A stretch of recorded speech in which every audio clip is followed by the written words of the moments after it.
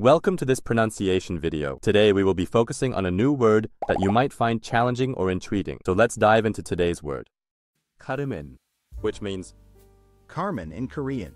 let's say it all together. Kareumen.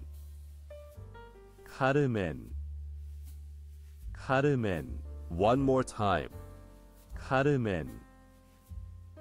Kareumen. Kareumen. Thank you for joining us on this adventure in pronunciation. Remember, language is a journey, not a destination. Keep exploring, experimenting, and expanding your linguistic horizons. We'll see you next time.